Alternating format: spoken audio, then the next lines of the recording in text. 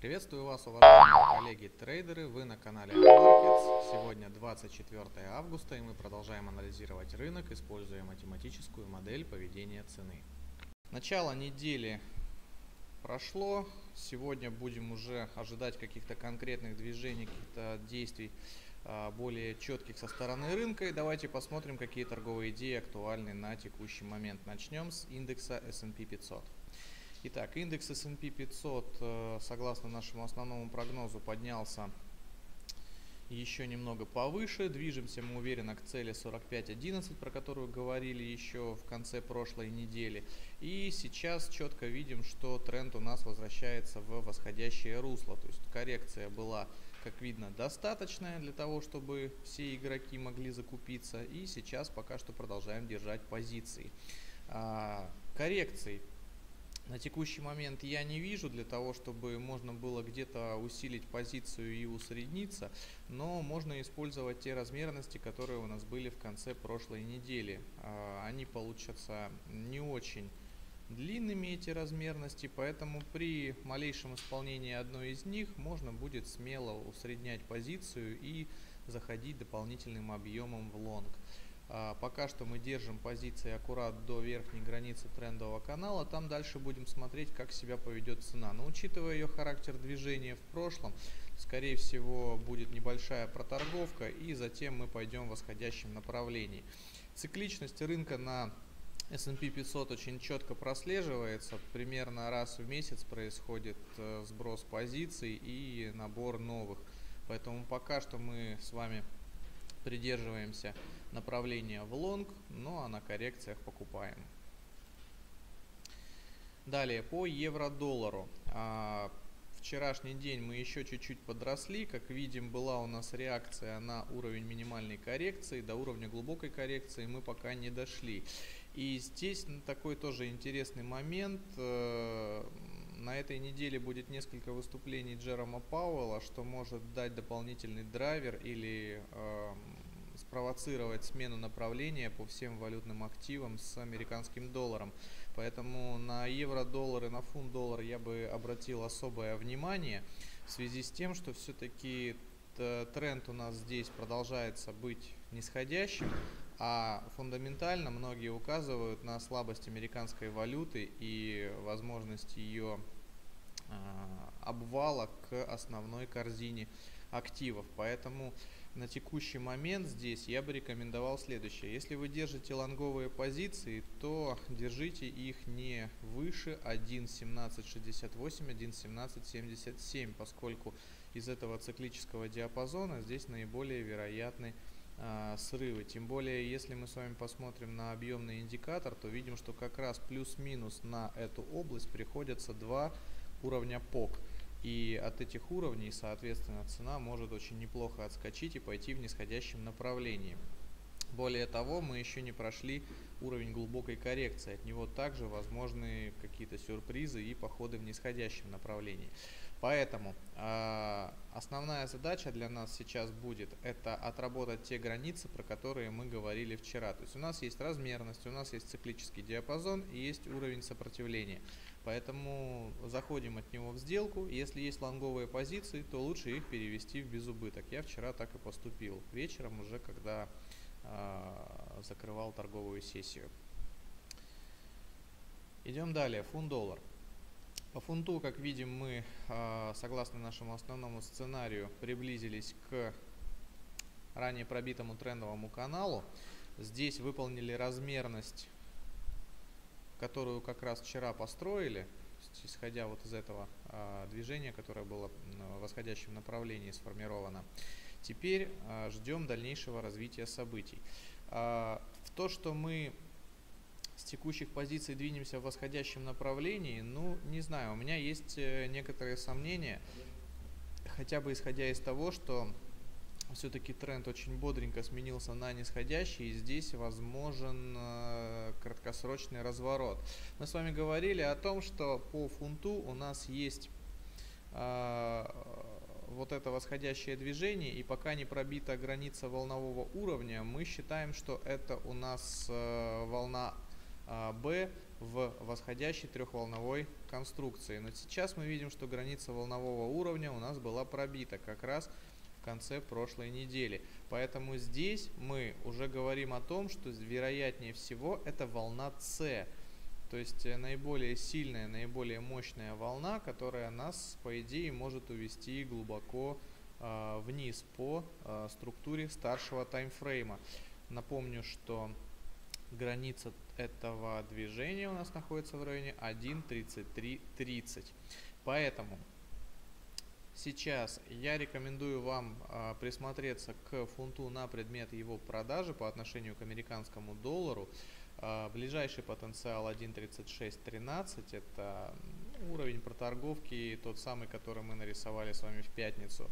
И э, более дальние цели, только что я озвучил, это 1.3330. Потенциал, конечно, очень большой, более 300 пунктов, но тем не менее э, такой исход вполне возможен. Поэтому здесь будьте внимательны.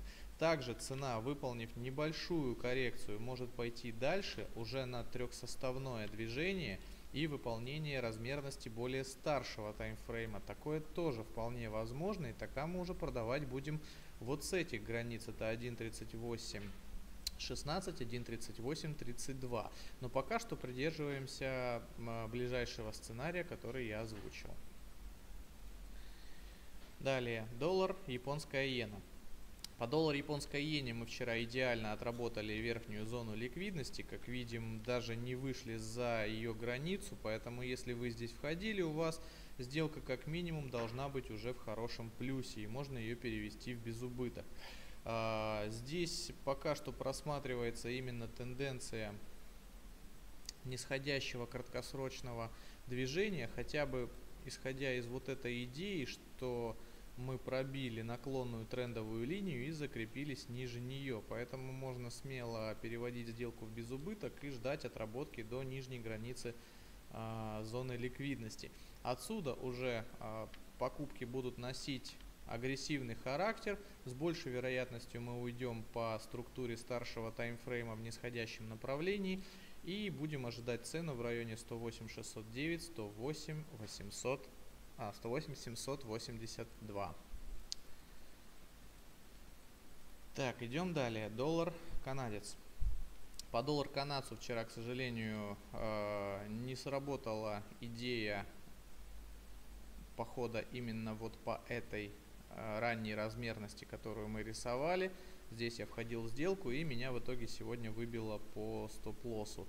Э, цена просто безбожно катится в нисходящем направлении и ничего с этим, к сожалению, не поделать. Но, в принципе, если кто-то следит за доллар канадцем в течение длительного времени, то знает, что такие срывы цены и возвраты, они происходят довольно часто. Например, один из них как раз был э, в тот период, когда мы полностью сменили тренд на нисходящий относительно американского доллара. Поэтому ничего страшного здесь не произошло. Ну, даже если вы поймали стоп-лосс, э, это не повод уходить в депрессию, расстраиваться и так далее. Сейчас по, немножко подождем, пока цена на, на данном инструменте успокоится и примем решение по дальнейшей его судьбе.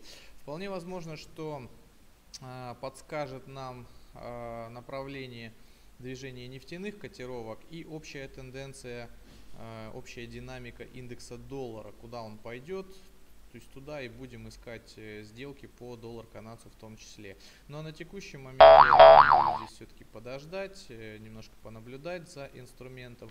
Сейчас у нас цена остановилась в районе проторговки, достаточно сильный диапазончик, где скорее всего будет происходить борьба между быками и медведями. Поэтому результат этой борьбы мы с вами увидим в качестве срыва цены и будем двигаться по а, данному движению. Идем далее. Доллар-франк.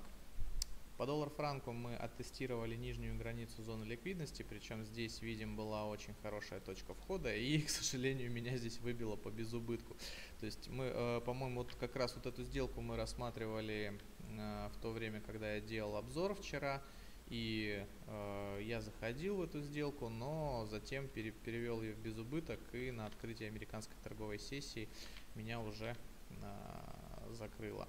В нуле. Вот, поэтому сейчас пока что я эту валютную пару трогать не буду. Я посмотрю, куда она дальше пойдет. Если мы будем снижаться вниз, то здесь будет гораздо более удачная точка входа в районе диапазона 0.9065, 0.9076. Уже из этого диапазона мы с вами сможем спокойненько закупиться и отработать движение в восходящем направлении. Ну или как минимум, если не будет такой э, сильной тенденции восходящей, то мы сможем отработать как минимум какую-то предыдущую размерность. Их у нас здесь накопилось достаточно много. Как видим, в принципе, на любой вкус, э, цвет и размер даже есть более мелкие размерности типа вот таких, но это уж совсем маленькая, порядка 30 пунктов, это ни о чем, как бы такое движение даже рассматривать не хочется. Его, скорее всего, стоит рассмотреть только как э, коррекцию для поиска точки входа в продолжение тренда. А как э, коррекционное движение, которое можно забрать, честно, рассматривать его не хочется. Поэтому по доллар-франку сегодня я буду занимать выжидательную позицию, смотрю, как он будет двигаться. Ну и два сценария. То есть сценарий номер один, мы снижаемся к э, нижнему диапазону, отсюда агрессивные покупки. Э, и сценарий номер два, это возвращаемся снова над линию поддержки и сопротивления, закрепляемся и через паттерн 1, 2, 3 отрабатываем верхнюю зону ликвидности. Так, идем далее. Австралиец. Австралиец выполнил те максимальные размерности, которые мы вчера рисовали, как видим, но пошел еще дальше. Сейчас пытается закрепиться выше э, зоны, это у нас получается уровень глубокой коррекции по отношению к последнему срыву цены, произошедшему 18 августа. Ну а по отношению ко всей вот этой нисходящей волне, э, можно сказать, мы как раз пробиваем сейчас э, тот диапазон, который является для нас ключевым. Поэтому здесь будьте внимательны. Если рассматривать размерности, которые у нас здесь могут возникнуть, то ну, они практически все уже выполнены. Если только мы не рассмотрим полностью вот эту размерность, полностью от этой точки до верхней границы флетового диапазона. То есть эту размерность мы как раз выполнили с э, маленькой погрешностью, но выполнили. И сейчас у цены есть э, большие шансы скорректироваться. Но если этой коррекции сейчас не последует, если э, фундамент все-таки нас уведет дальше наверх, то следующая волна, она, судя по предыдущей размерности, может быть очень мощной.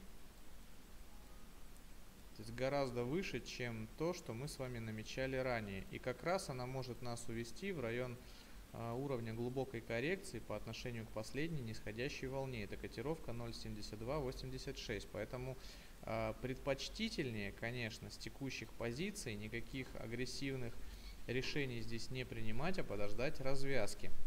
Если уж мы а, будем двигаться в восходящем направлении, то э, продавать от уровня 0.7286. Ну а с текущих позиций, как видим, мы уже пытаемся пробить э, данный диапазон, поэтому здесь продажи носят агрессивный характер. Далее, новозеландец. Ночью по нему вышли весьма положительные макроэкономические новости, поэтому не исключено, что в ближайшие несколько часов на европейской и азиатской торговой сессии новозеландец будет укрепляться по отношению к основным валютам. А, здесь, наверное, я тоже буду, как и по доллар-франку, занимать выжидательную позицию, потому что ну, у нас есть вот этот уровень 0.6969. Он же у нас является зеркальным уровнем поддержки сопротивления. Но у нас есть более старшая размерность, которая может увести нас выше к уровню 0.70, это раз. И во-вторых, вот этот срыв цены, то есть если рассматривать уровень, тот, который я озвучивал ранее, он попадает как раз на середину этого срыва. По сути, когда происходит вот такой сброс, здесь нет никаких объемов вообще, цена не встречает сопротивления, нет здесь покупателей, здесь только масса продавцов, которые сбросили фьючерс на новозеландец и больше ничего. Поэтому объективно задержать здесь э, цену я считаю, что нечем, просто нечем. Поэтому не исключено, что если цена пойдет в восходящем направлении, то она будет выполнять размерность большую. Поэтому я буду ждать, пока цена как раз вернется к уровню 0.70 ровно, и отсюда уже буду принимать решение по продаже новозеландца. А, ну а если мы будем закрепляться выше трендовой линии поддержки сопротивления, тогда а, буду переворачиваться, закрывать э, шорт и открывать сделку лонг. Далее, по золоту. По золоту здесь у нас идея следующая. А, как видим, а, мы вчера неплохо подросли. Была небольшая, совсем небольшая реакция на границу зоны ликвидности, но а, после этого мы ее пробили и сейчас рисуем что-то наподобие флага. Ну, любители технического анализа, такого классического, олдскульного, сказали бы, что это флаг, и сейчас он должен отработать вверх. Ну, я не такой однозначный в подобных высказываниях, как они, поскольку данная проторговка может на самом деле выстрелить хоть вверх, так и вниз, исходя из того, куда будет интерес, куда будет зона наименьшего сопротивления смотреть.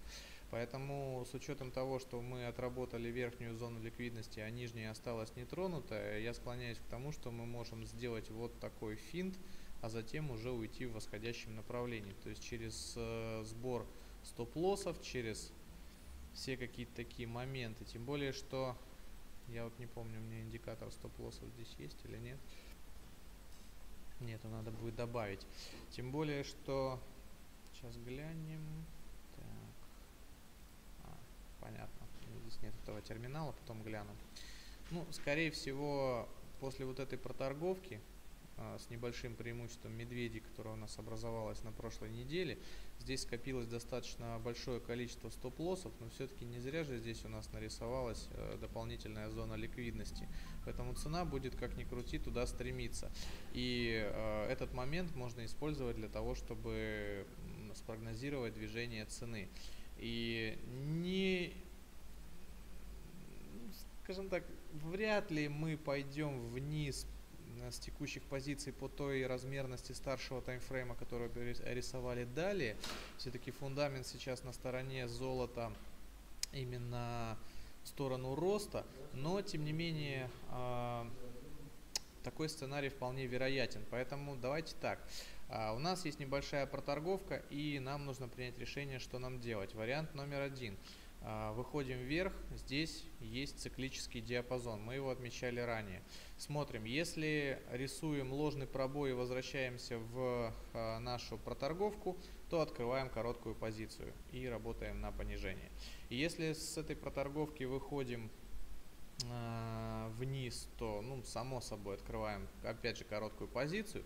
И если выходим импульс наверх и закрепляемся выше уровня проторговки, то здесь э, снова открываем сделку в лонг.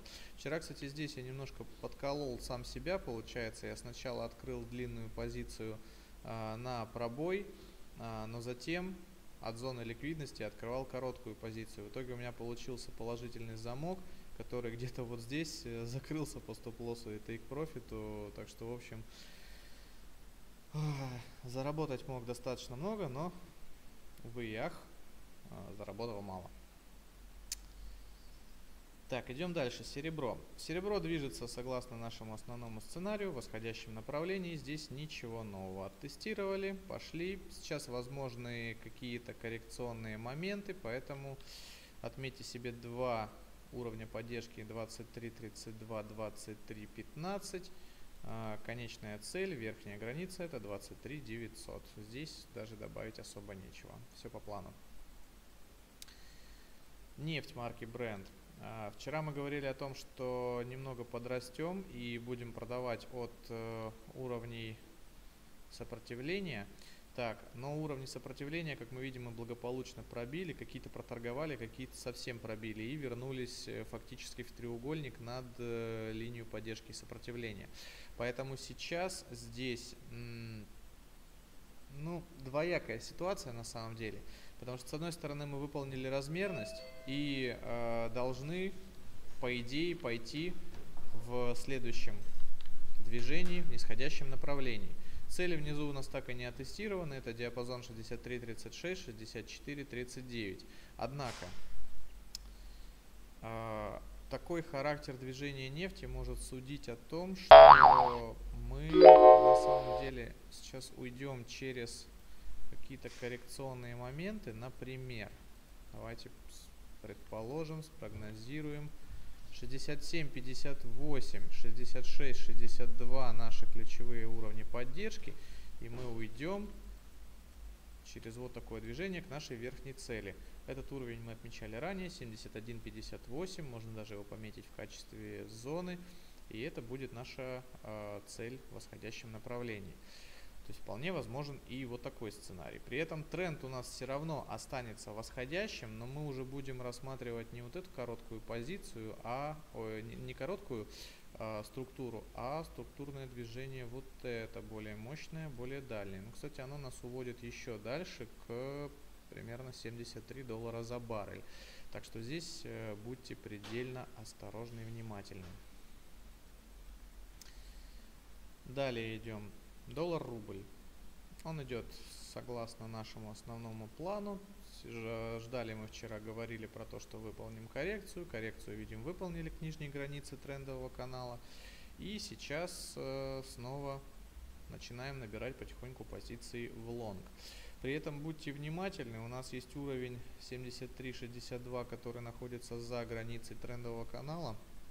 Причем это зависит от того, каким образом мы нарисуем трендовый канал. То есть если он будет вот таким, то здесь, как видим, он как раз приходится на нижнюю границу. Ну а если нарисуем то, как это было раньше, то там уже будет по-другому.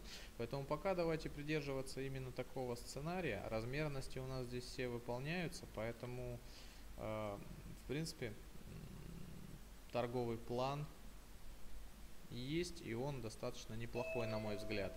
Uh, уровень поддержки 73.61, от него покупаем. Если с текущих позиций вы уже затарились, то держим позицию. Если еще не затарились, то рекомендую вам немножко подождать и зайти uh, в сделку, ну, либо опять же от нижнего уровня, либо через вот такой паттерн. То есть это будет более uh, реально, более удачно, более такая консервативная точка входа.